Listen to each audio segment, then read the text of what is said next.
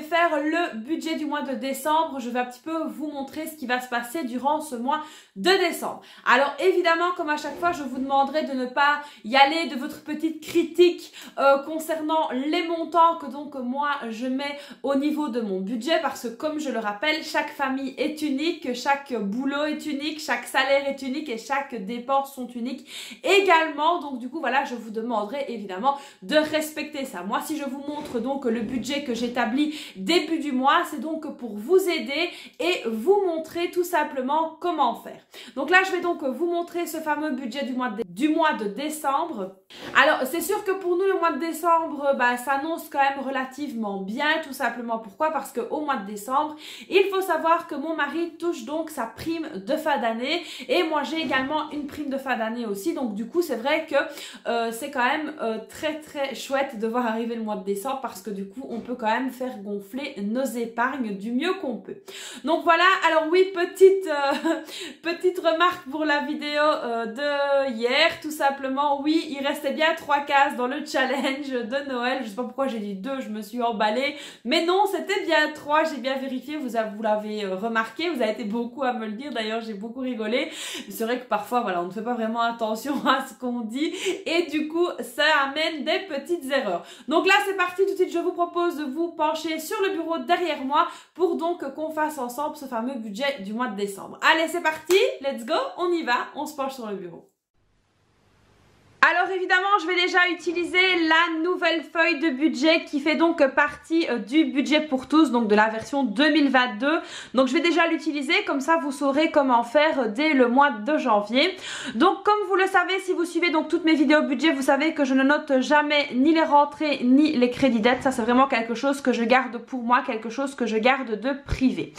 Par contre, ici, on m'a posé la question de savoir si je ne voudrais pas montrer un petit peu au niveau de mes dépenses fixes comment je fais, comment je m'organise.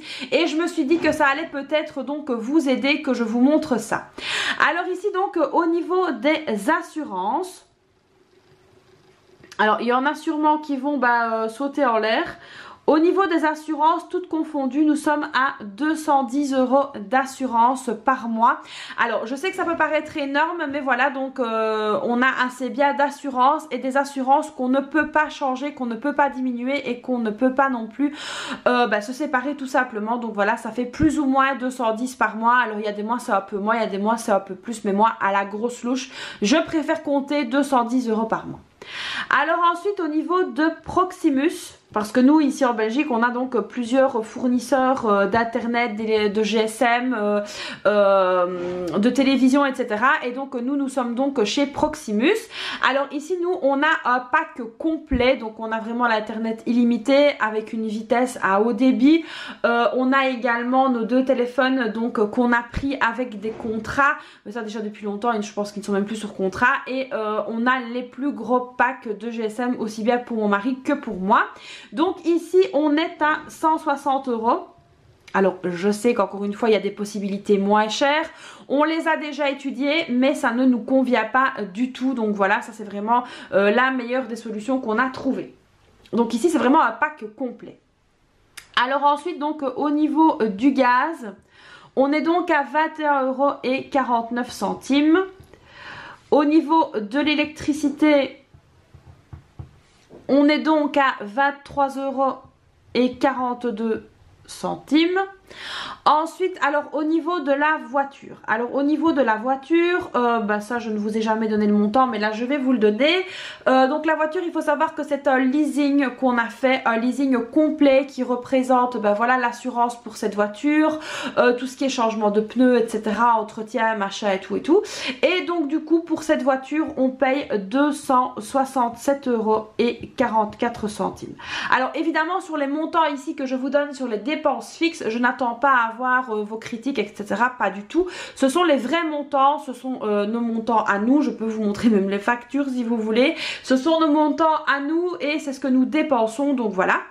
Alors ici, euh, au niveau de la mutuelle, ce mois-ci, je n'ai rien à payer, ni pour mon mari, ni pour les filles, ni pour moi, parce que bah, tout a été payé.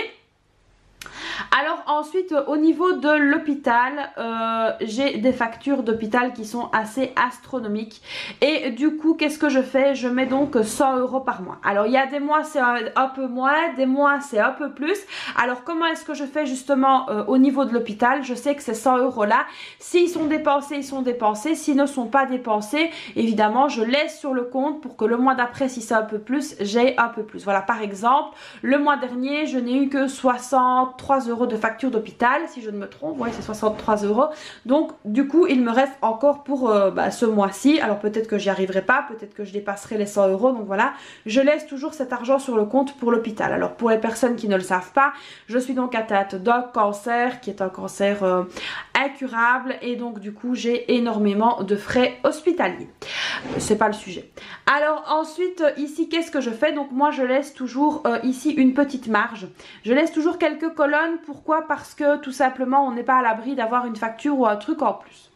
Alors ici je vais donc laisser un montant que j'appelle secours. Alors je vous avais dit que je laissais toujours euh, voilà parfois 50, parfois 100, parfois un peu plus. Et ce mois-ci comme on sera un peu plus à l'aise, je vais donc laisser 200 euros sur ce fameux secours. Alors je laisse ça sur le compte tout simplement pourquoi? Parce que si euh, on doit aller euh, faire un achat complètement imprévu, si on dépasse à la pharmacie, si on a vraiment voilà si le mois a été plus compliqué, qu'on a vraiment besoin d'une roue de secours pour pouvoir aller faire des courses ou acheter de la viande ou que sais-je, on a ces fameux 200 euros là. Alors ensuite, j'ai donc la provision de charge. Alors vous êtes énormément à me poser des questions concernant cette fameuse provision. Qu'est-ce que c'est? C'est toutes les factures mensuelles, trimestrielles, semestrielles et annuelles qui tombent. Moi, je les ai donc divisées ben, par le nombre de mois. Évidemment, c'est une facture annuelle, je divise par 12, trimestrielle par 3, semestrielle par 6, etc. Et donc du coup, pour cette fameuse provision, je dois verser donc sur un compte que j'appelle moi compte de provision 171,50 euros. Alors d'ici la semaine prochaine, je vous ferai une vidéo spéciale provision pour que vous vous rendiez bien compte de ce qu'est la provision et comment la calculer parce que c'est vrai que je reçois beaucoup de messages de personnes ne sachant pas calculer cette fameuse provision et se posant justement la question de savoir comment faire. Donc du coup, je me suis dit qu'une vidéo euh, spéciale là-dessus, ça ne vous ferait pas de mal et puis bah, à moi aussi, comme ça, ça permettra de refaire mes calculs bien correctement. Alors ici, donc au niveau du total de mes dépenses fixes, on est donc à 1000 153,85. Alors ça ne sert à rien de me dire en commentaire ou tout simplement de le penser, ah moi c'est ce que j'ai pour vivre. Euh, chacun est différent, chaque famille est différente, on a tous des frais différents. Donc voilà, nous ici c'est comme ça. Alors ensuite, euh, maintenant, concernant les enveloppes, non on va d'abord, alors maintenant concernant ici les dépenses variables. Donc ici au niveau des dépenses variables je vais tout simplement mettre midi. Donc ça c'est pour les repas de midi de mon mari où il prend donc 30 euros chaque mois. Et ensuite je mets donc maintenant le parking parce que le parking vu que je reste beaucoup plus longtemps à l'hôpital et que j'y vais beaucoup plus souvent, à chaque fois je dois donc payer, normalement la première heure est gratuite mais à chaque fois je dois payer des suppléments vu que maintenant je reste minimum 2 heures voire 2 heures et demie. Voilà par exemple euh, là je vais aller pour, euh, pour quelques heures, euh, même 4 heures donc du coup voilà il faut que je paye beaucoup plus.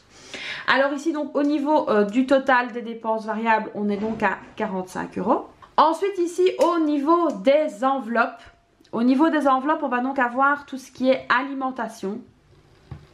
Et là je prévois donc 500 euros pour le mois.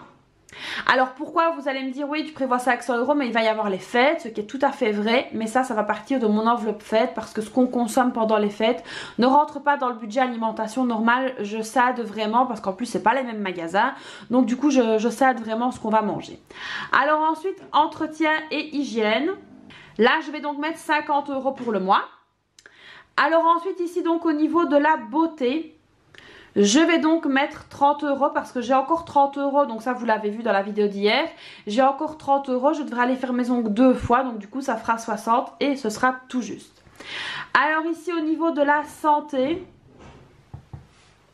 Au niveau de la santé, je compte mettre 70 euros, comme d'habitude. Au niveau loisirs et sorties, je vais donc mettre ici 50 euros. Alors je sais que la dernière semaine du mois les filles seront en vacances. Euh, maintenant comme il y a les fêtes de Noël et que mon mari n'est pas là, c'est vrai qu'on n'a pas prévu énormément de sorties. Mais on fera plutôt ça la première semaine de janvier parce que mes filles seront en vacances et mon mari encore aussi. Donc on fera sûrement ça la première semaine de janvier. Alors ensuite ici on a donc la fameuse enveloppe maison où là on a donc 25 euros que je mets donc par mois. Ensuite, on aura donc l'enveloppe d'hiver. Dans l'enveloppe d'hiver, je, viendrai donc mettre 50 euros. Alors, je mets pas trop parce que de fait, il y aura les fêtes, donc voilà. Pour l'école, donc ça, l'école, c'est la cantine et éventuellement les sorties s'il y en a. Mais là, bon, euh, avec tout ce qui se passe, c'est annulé, mais bon, voilà. 60 euros. Au niveau des vêtements, je viendrai donc mettre 50 euros. Au niveau de mes enveloppes, ça nous fait donc un montant total de 885 euros.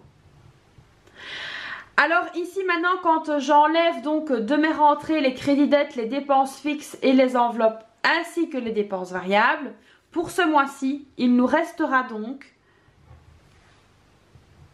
1244 euros et 17 centimes. Alors je sais que ça peut vous paraître beaucoup euh, mais voilà comme je l'ai dit mon mari va avoir sa, prime de fin d'année. Donc d'habitude on n'est pas à ce montant là on est bien d'accord. Mon mari va avoir sa prime de fin d'année je vais avoir la mienne. Donc du coup ça va vraiment faire augmenter euh, bah, nos rentrées tout simplement. Pour le mois de décembre c'est chaque fois la même chose. On a vraiment un gros gros mois. Euh, également au mois de mai, euh, on a également les primes. Et au mois de juin aussi, ça dépend un petit peu. Mais là, c'est vrai que euh, le mois de décembre, c'est vraiment le plus gros mois chez nous. Donc voilà, ici, on a donc 1244,17 euros qui vont donc aller en épargne. Alors comment est-ce que je vais évidemment épargner tout ça? Alors premièrement, tout d'abord, mon calcul c'est donc la case A, donc le total A qui est ici au niveau des rentrées, moins B, moins C, moins D, moins E. Donc là, vous avez donc le calcul qui est réécrit ici. Et puis, vous avez ici un montant qui vous reste. Évidemment, ce montant-là n'est pas égal à 0. C'est le montant que vous allez devoir dispatcher en épargne. Alors ensuite, ici, au niveau de l'épargne, qu'est-ce qu'on va donc avoir? On va donc avoir les fêtes. Alors les fêtes, vous savez, c'est Noël, c'est Saint-Nicolas, etc. Donc du coup là, je vais ajouter 300 euros en plus de ce que j'ai déjà là. Ensuite, on va donc avoir le ramadan parce que c'est une enveloppe que je fais également, où là je vais donc venir mettre 30 euros. Anniversaire, 30 euros. Dentiste, 20 euros. Et alors donc ici sur le compte épargne, je vais venir verser, alors c'est une somme qui va peut-être vous paraître bizarre, mais ça je ne vous dévoile pas comment j'ai fait mon calcul, 672 euros et 39 centimes. Et ensuite, au niveau du fonds de secours, je viens donc attribuer le reste. Et donc au niveau du fonds de secours, je viendrai donc mettre 191 euros et 78 centimes. Et donc évidemment, on arrivera ici à un total de 1244 euros et 17 centimes. Donc voilà un petit peu ici comment euh, j'arrive donc moi à faire au niveau de mes épargnes. Alors évidemment, quand on fait maintenant le total des dépenses qui est donc ici moins le total F, on arrive bien à un budget à base de 0. Donc voilà un petit peu comment moi je fais mon budget pour le mois. Donc voilà ici pour mon budget, franchement on est pas mal. Euh, je suis même euh, bah, plutôt contente et on va vraiment euh, arriver à mettre un max d'argent de côté en épargne, ce qui est vraiment top. Et on va également pouvoir prévoir de belles fêtes. Alors c'est vrai que d'habitude au niveau des fêtes on est toujours un peu ric-rac. Mais là avec tout ce que j'ai mis en place, plus ici les 300 euros que je vais ajouter dans l'enveloppe des fêtes, ce sera vraiment au top. Alors maintenant je ne sais pas si je vais vraiment les ajouter en liquide ou si tout simplement je vais les laisser sur le compte. À mon avis c'est ce que je vais faire, je vais les laisser sur le compte. Euh, ils iront donc évidemment rejoindre le, compte épargne au niveau des fêtes parce que donc il y a aussi des trackers que je fais au niveau virtuel mais ça que je ne vous montre pas forcément euh, parce que ben voilà il y a des choses que je veux garder privées. Donc voilà à mon avis euh, on verra ça ensemble quand on remplira les enveloppes et évidemment quand on remplira les enveloppes je vous dirai ce que j'ai donc mis en épargne sur le compte et ce que je mettrai dans mes enveloppes. Donc voilà ici pour mon budget. Donc voilà ici les amis pour le budget du mois de décembre. Alors j'étais vraiment transparente avec vous. Je vous ai vraiment montré euh, un petit peu plus que ce que je vous montre d'habitude pour que vous compreniez bien comment je m'organise. Alors ce mois-ci c'est un mois exceptionnel. Il n'y a jamais deux fois un mois comme ça dans l'année malheureusement. Mais là c'est vrai que ce mois-ci est particulièrement bah, top tout simplement. Pourquoi? Parce qu'on va donc avoir ces fameuses primes. Donc voilà, alors pour les personnes qui me poseraient la question, mon mari est donc ouvrier qualifié de hum, travaux lourds. Donc voilà, ici ça vous donne euh, un petit indice. Donc ici c'est vrai que grâce aux primes qu'on reçoit donc euh, fin décembre et moi à la prime que je reçois même si elle est beaucoup plus petite, on peut quand même vachement se pas se faire plaisir mais mettre de l'argent en épargne. Alors comme tout le monde, quand on a euh, des enfants, quand on a une maison, etc., on a envie de faire des embellissements, on a des projets. Donc nous ici c'est vrai qu'on a un projet, c'est donc de mettre un adoucisseur d'eau. Alors j'avais déjà parlé que je faisais une épargne pour la salle de bain mais je vous en avais pas dit plus. Donc ça ça viendra euh, dans une prochaine vidéo où je parlerai de mes épargnes pour 2022 donc voilà on fait quand même hyper hyper attention euh, à, notre, euh, à notre argent.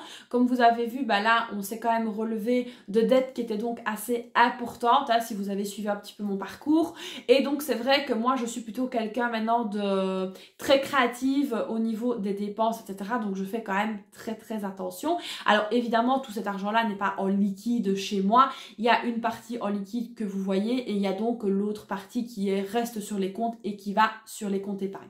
Donc comme je l'ai dit en début de vidéo, je n'attends pas évidemment des critiques, des commentaires, etc. déplacés. C'est ici vraiment en toute transparence en toute transparence, je vais y arriver, je vous montre ça pour que vous compreniez un petit peu mieux le fonctionnement du tableau. Il y a des personnes qui me disaient, bah voilà Christelle, moi j'arrive pas du tout à établir les dépenses fixes, je sais pas comment je dois m'y prendre.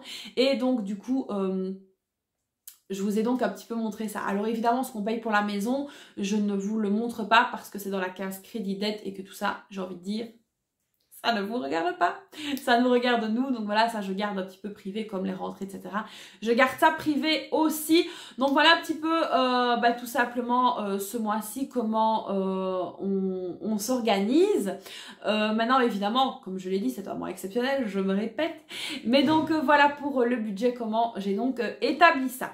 Alors aussi une grande nouvelle, c'est que j'ai donc décidé de prolonger la fameuse promo que je vous ai donc fait sur les nouveaux supports, de la vous la prolonger jusqu'au 8 décembre, voilà. Euh, comme ça, ça permettra aux personnes qui touchent peut-être la CAF, qui touchent les allocations familiales ou qui ont des rentrées début du mois, de pouvoir donc euh, vous procurer ces fameux supports. Alors, je le rappelle, ces supports sont donc faits main, euh, avec tout ce que ça comporte. Donc, parfois, l'erreur est humaine, donc il se peut que vous ayez peut-être une petite bourde, ce qui, a, ce qui pourrait arriver. Donc, n'hésitez pas évidemment à me contacter en privé s'il y avait un souci. Mais en règle générale, tout se passe très bien et je suis vraiment très fière de nous parce qu'on fait vraiment un super boulot. Alors évidemment, je tiens également à le préciser que ce n'est pas euh, digne d'une grande société de reliure, machin, c'est vraiment du fait maison. Donc ça, c'est vraiment important de le signaler. Donc ça, les supports euh, papier ont été faits justement bah, pour pouvoir aider les personnes qui ne pouvaient pas euh, imprimer à récupérer les supports, à les avoir également. Et puis bah, la reliure, c'est donc une idée que j'ai eue euh, dans le courant du mois de juillet ou comme ça parce que voilà, je trouvais que c'était beaucoup plus beau, je trouvais que c'était beaucoup plus chouette. je cherchais justement un système économique où vous pourriez justement avoir tout en un plutôt qu'un classeur, parce que je trouvais qu'un classeur, ça pouvait être quand même vachement encombrant, tandis qu'ici, ça rentre tout simplement même dans un tiroir, ça rentre, c'est tip top nickel. Donc voilà les amis pour la petite parenthèse concernant mes nouveaux supports qui sont donc toujours disponibles sur mon site web et qui le seront jusqu'à fin 2022 évidemment, mais pas au même prix. Donc voilà les amis, j'espère que cette vidéo vous aura plu. Alors vous connaissez la chanson, hein, n'hésitez pas à la liker, n'hésitez pas également à vous abonner à ma chaîne et à activer la petite cloche si ce n'est pas encore fait. Moi je vous fais donc plein de bisous et je vous dis à très vite pour une prochaine vidéo. Bye bye